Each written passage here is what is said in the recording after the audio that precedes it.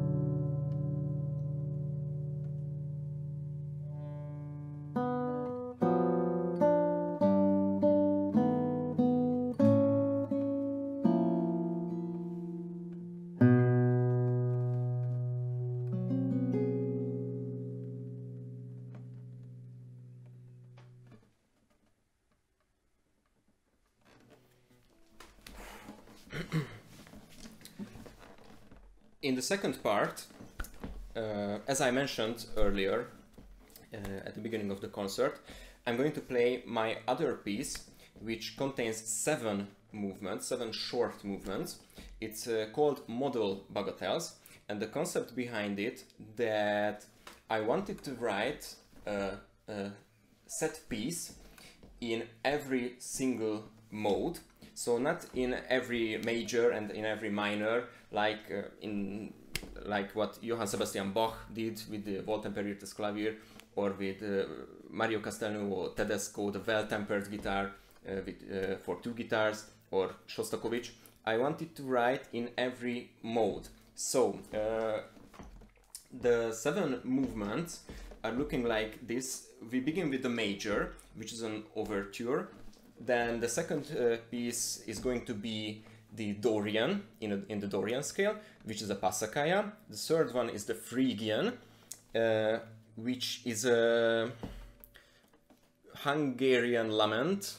So it's, ba uh, it's based on a, an artificial folk song. The fourth movement is the Lydian, which is uh, called Dream. The fifth one is the Mixolydian, which is called Irish Pub Dance. Uh, the sixth one is the Minor, and the last one, the seventh one, is the Locrian. Uh, uh, this piece is also uh, uh, can be divided in two parts. The first four movements are together as an attacca, uh, and after that I need to tune a little bit as you are going to see uh, why. And the last part is the remaining three movements, the 5, 6, 7, so the Mixolydian, the Minor and the Locrian. I hope you're going to enjoy it.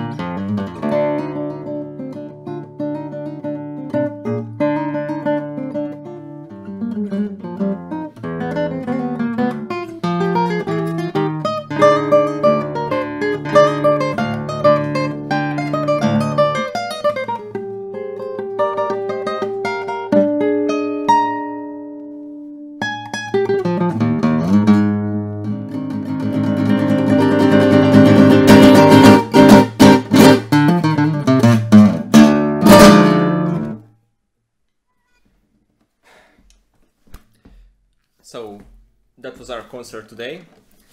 Uh, that's it. I hope you liked it and enjoyed it. I would like to say a big, big thank you to the Mottola International Guitar Festival and its main organizer, Michael Libraro. Thank you for having me here.